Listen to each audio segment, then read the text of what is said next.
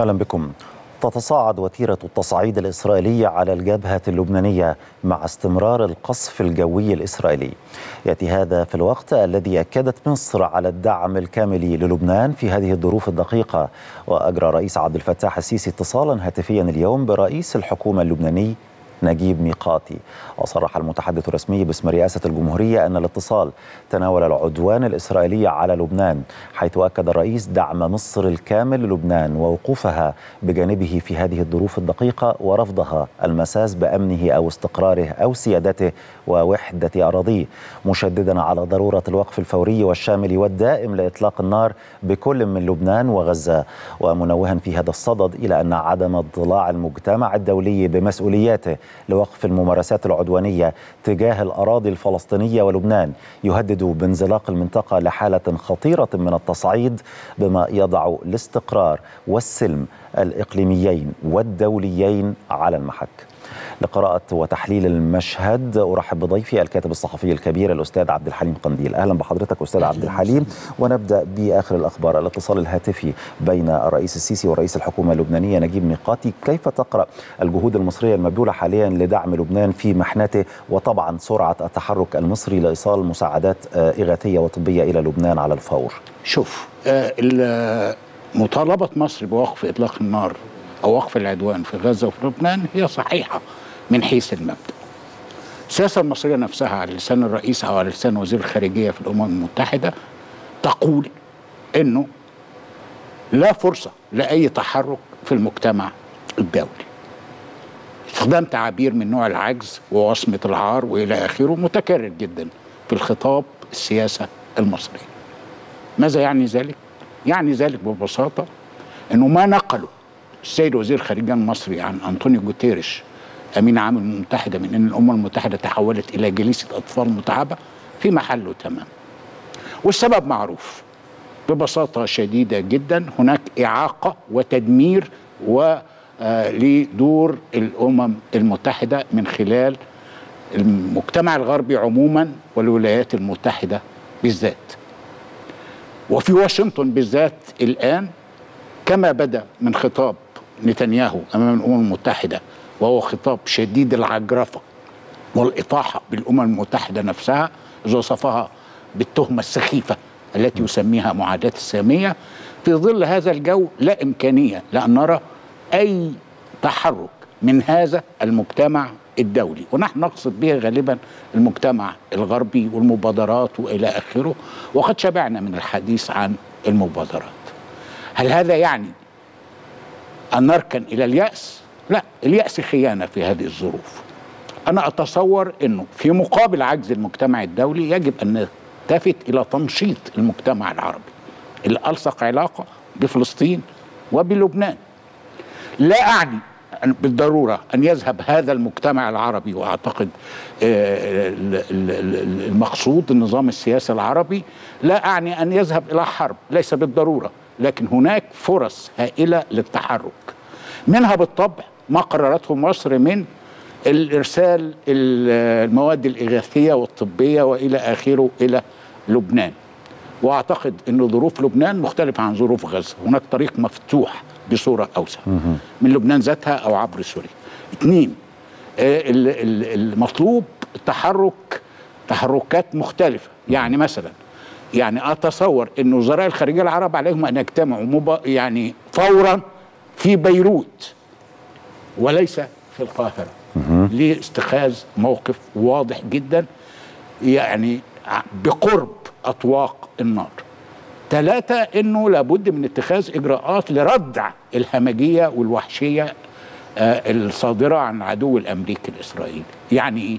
يعني ببساطة ما ينفعش إن إحنا نطالب ب تجميد عضوية إسرائيل في الأمم المتحدة على سبيل المثال وهو تحرك في محله. إن كانت هناك بوادر له ينفع أن إحنا نطالب بتجميد العلاقات مع إسرائيل من قبل أي دولة عربية. أعتقد أن هذا هو الوقت الذي تتخذ فيه مثل هذه الإجراءات التي كما هو واضح لا نطالب فيها بالذهاب إلى حرب بل بتصرفات مؤثرة آه تحت مستوى الحرب. ال- ال- الجانب الآخر بتطور الحوادث في ظل هذا الخلاء أو الانكشاف الدولي. وما يشبه الانكشاف العربي ما لم تتخذ مثل هذه الإجراءات. سوف تندفع الهمجية والوحشية إلى آخر مدى خاصة في وقت الفوات الأمريكي كما قلنا من قبل.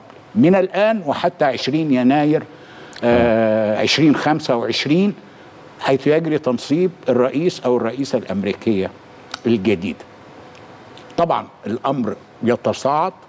طبعا قد ننسب إلى بعض الأطراف العربية من نوع حزب الله إنه فرط في أمنه الذاتي أو هناك خروق أمنية واسعة لكن في النهاية هناك لا تستطيع إن أنت آه، ت- ت- ت- ت- تأتي على الضحية.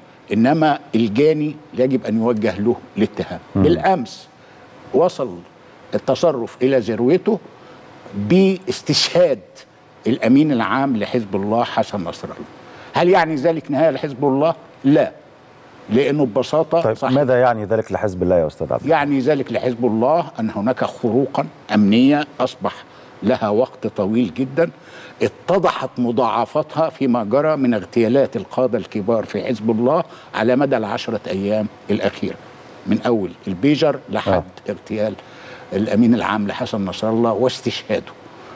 هنا لابد من مراجعة. هذه المراجعة أعيننا ليست هناك هي تخص حزب الله. إنما آه هذا واجبه هل هذا سيعني نهاية لحزب الله أو شلل لحزب الله؟ لا أعتقد. لماذا؟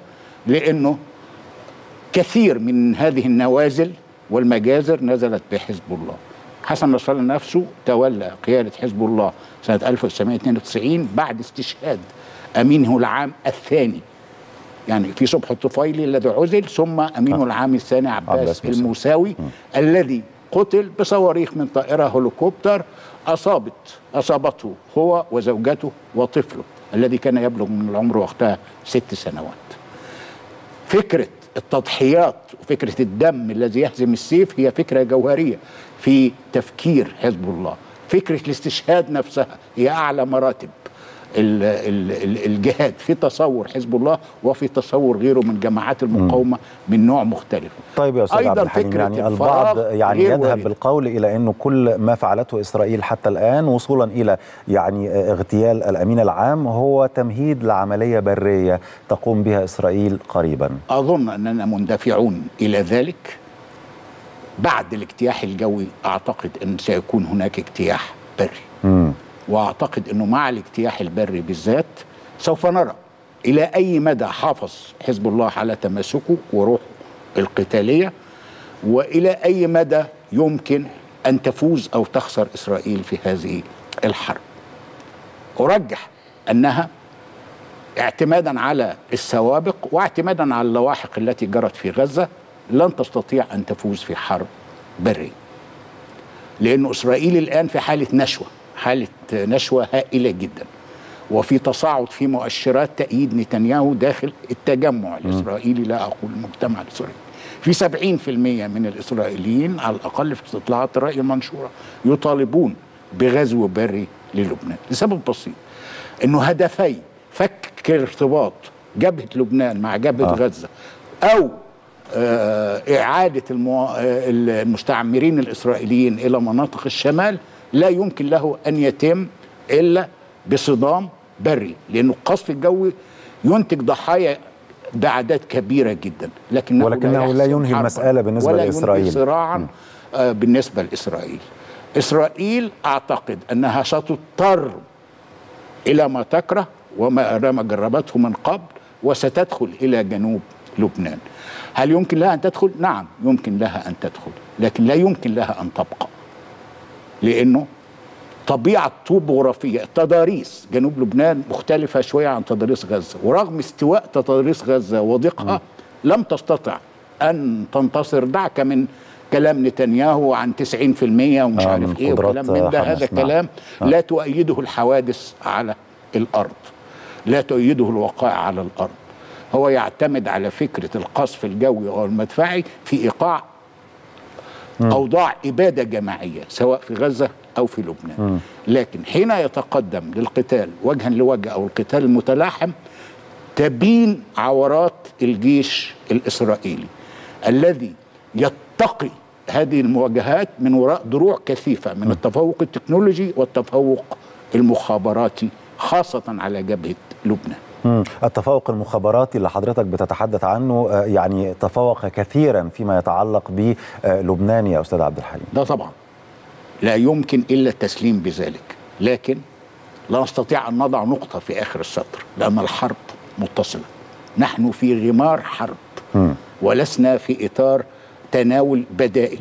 نحارب أو لا نحارب. الحرب فرضت على اللبنانيين وعلى حزب الله بالذات.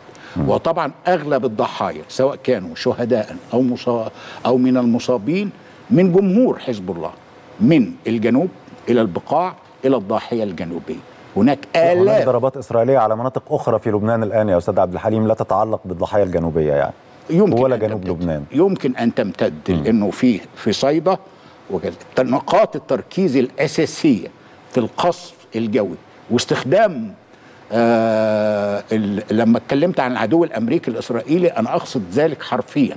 إنه دعك من الكلام الفارغ الذي يقوله الأمريكيون عن إن إحنا نصحنا لم نوافق لم نبلغ لم نعلم. إيه كل هذا كلام فارغ وضحك على الدقون لأنه إف 35 التي استخدمت في عملية حارة حريك وتدمير ست مباني أو الوصول إلى ما تحتها مع القنابل الخارقة للتحصينات ووزن الواحدة منها طن لا هي كلها قنابل أمريكية وطائرات أمريكية. إضافة لسيل الجسور الجوية والبحرية الناقلة للمعونات العسكرية الإضافات العسكرية الأمريكية. لأنه ببساطة كما قلنا من قبل الإدارة الأمريكية أو بايدن اختصارا ببساطة في الوضع الحالي هو وضع الذي يسمع إلى نتنياهو فيطيع. دونما تعقيب مم. طيب آه، يعني إلى حين آه، التأكد من إنه حيكون هناك عملية برية آه، ولا لا من قبل إسرائيل ما الذي تتوقعه من رد لحزب الله على اغتيال أمينه العام فيما يتعلق بالرشقات الصاروخية التي يطلقها على إسرائيل أنا ضد فكرة الرد الانتقائي بمعنى حين يقع حادث حين يقع اغتيال مم. نقوم برد انتقامي لأن القضية ليست قضية شخصية هؤلاء ذهبوا شهداء على طريق قضية تحرير.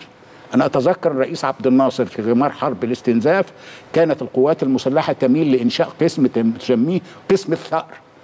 بعد آه، استشهاد الفريق أول عبد المنعم رياض. كان عبد الناصر طلب عبد الناصر ونفذ أن تزال هذه اللافتة قسم الثأر وأن يسمى القسم قسم التحرير. لأننا لسنا في مباراة انتقام دموي. نحن يجب أن نحرص دائما على أن نرى الطريق أمامنا. الطريق صعب. طبعا قضية تحرير لبنان وتحرير فلسطين من المؤكد أنه صعب. لكنه ليس مستحيلا. وفكرة إنزال قطع الرؤوس مع حركات المقاومة ليس هناك من دليل واحد على أنها نجحت في سيرة الصراع مع كيان الاحتلال الإسرائيلي. لا في حركة فتح ولا بعدها في حركة حماس ولا في حركة الجهاد ولا في حزب الله. لأنه هذه التنظيمات إضافة لطابعها الإيماني هي مبنية على أساس فكرة البدائل الفورية.